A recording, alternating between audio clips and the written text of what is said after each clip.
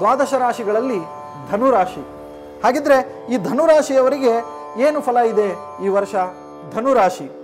ಈ ರಾಶಿಯ ಮಹಾಶಯರಿಗೆ ಅಗ್ನಿತತ್ವ ರಾಶಿ ಇದು. ಈ ಧನುರಾಶಿ ಅಂತನ್ನುವುದೇ ಅಗ್ನಿ, ತತ್ವ ರಾಶಿ, ದ್ವಂದ್ವ ಸ್ವಭಾವ. ಇವರಿಗೆ ಸಾಡೆ ಸಾತಿ ಶನಿ ಮುಂದುವರಿತಾ ಇದೆ. ಆದ್ದರಿಂದ ವ್ಯಯದ ಕೇದು ಷಷ್ಠದ ರಾಹು, ಗುರು ಮೂರನೇದವನಾಗಿದ್ದಾನೆ. ಆರೋಗ್ಯ ಬಾಧೆ, ಶರೀರ ಪೀಡ, ನರಗಳ ದೌರ್ಬಲ್ಯ, ಶರೀರದ ಕೆಳಭಾಗಗಳಿಗೆ ಸ್ನಾಯು ಸೆಳೆತ ಮತ್ತು ಅನ್ನದಲ್ಲಿ ದೋಷಯುಕ್ತವಾದಂಥ ಅನ್ನವನ್ನು ತಿನ್ನುವುದರಿಂದ ನಿಮಗೆ ಒಂದು ಒಟ್ಟಾರೆಯಾಗಿ ದೇಹದ ಆರೋಗ್ಯ ಏನಿದೆ ಅದು ಹದಿಗೆಡುವಂತಹ ಪರಿಸ್ಥಿತಿ ಹತ್ತಿರದಲ್ಲಿ ಇದೆ. ಆದ್ದರಿಂದ ಬಹಳ ಎಚ್ಚರಿಕೆಯಿಂದ ಆಹಾರವನ್ನು ಸ್ವೀಕಾರ ಮಾಡಿರಿ. ಇನ್ನು ವಿಹಾರ ಮಾಡ್ತಿರಬೇಕಾದ್ರೂ ಅಷ್ಟೇ ಎಚ್ಚರಿಕೆ ಇರಲಿ. ಆಹಾರ ವಿಹಾರಗಳಲ್ಲಿ ನೀವು ಸ್ವಲ್ಪ ಎಚ್ಚರಿಕೆಯಿಂದ ಇರಬೇಕಾದದ್ದು. ಗುರು ಮೂರನೆಯವನಾಗಿದ್ದು ಆರೋಗ್ಯದ ಬಾಧೆ ಬಹಳಷ್ಟು ಇಡೀ ವರ್ಷದಲ್ಲಿ ನಮಗೆ ಕಾಣ್ತಾ ಇದೆ. ಇನ್ನು ವಿಶೇಷವಾಗಿ ಎರಡನೇ ಶನಿ ಸಾಲದ ಬಾಧೆಯನ್ನು ಹಣವಿಲ್ಲದಂತೆ ಮಾಡ್ತಾನೆ.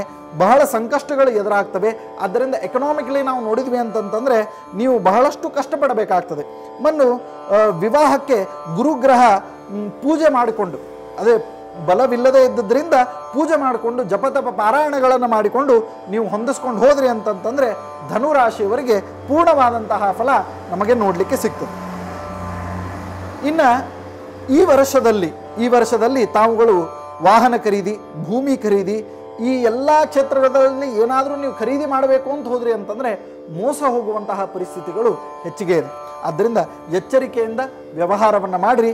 ಆದ್ದರಿಂದ ನಿಮಗೂ ಒಳ್ಳೆಯದಾಗ್ತದೆ ಇನ್ನು ಮಂಗಳ ಕಾರ್ಯಗಳ ಸಂಭ್ರಮ ನಾವು ಏಪ್ರಿಲ್ ಮೇ ತಿಂಗಳಲ್ಲಿ ನಾವು ನೋಡ್ತಾ ಇದ್ದೇವೆ, ಈ ಏಪ್ರಿಲ್ ತಿಂಗಳು, ಮೇ ತಿಂಗಳಲ್ಲಿ ಮನೆಯಲ್ಲಿ ಒಳ್ಳೆ ಕಾರ್ಯಗಳಾಗುವಂಥದ್ದು ಅಥವಾ ಏನಾದರೂ ಒಳ್ಳೆಯದಾಗಬೇಕು ಅಂತಿದ್ರೆ ಇದೇ ತಿಂಗಳದೊಳಗೇನೆ ಮಾಡಿಬಿಡ್ರಿ. ಯಾಕೆ ಅಂತಂದರೆ ಎಲ್ಲ ರೀತಿಯಾದಂಥ ಗ್ರಹಗತಿಗಳ ಅನುಕೂಲ ನೀ ಧನುರಾಶಿಯವರಿಗೆ ಅನುಕೂಲಕರವಾಗ್ತದೆ. ಇನ್ನು ಅನವಶ್ಯಕವಾಗಿ ಪರಸ್ಪರ ಮಾತುಗಳನ್ನು ಆಡುವಂತಹ ಪರಿಸ್ಥಿತಿಗಳ ನಿರ್ಮಾಣವಾಗ್ತದೆ. ಇದರಿಂದ ಜಗಳಗಳು ಮತ್ತು ರೈತಾಪಿ ಜನರಿಗೆ ಸರ್ಕಾರದಿಂದ ಯಾವ ಲಾಭಗಳ ಪ್ರಾಪ್ತಿಯಾಗಬೇಕಾಗಿರ್ತವೋ, ಅದು ಸಿಗದೇ ಇರುವಂಥದ್ದು ನಿಮ್ಮ ಮನಸ್ಸಿಗೆ ನೋವನ್ನು ಮಾಡ್ತದೆ. ಆದ್ದರಿಂದ ಎಚ್ಚರಿಕೆಯಿಂದ ಇರಬೇಕಾದದ್ದು ಷಷ್ಟದ ರಾಹು, ವ್ಯಯದ ಕೇತು ಕೀಟ ಭಯ ಉಂಟಾಗ್ತಾ ಇದೆ. ಜಾಗೃತಿಯಿಂದ ಇರಬೇಕು. ಹಾಗಿದ್ರೆ ನಾವು ಈ ರಾಶಿಯವರು ಏನು ಮಾಡಬೇಕಪ್ಪ?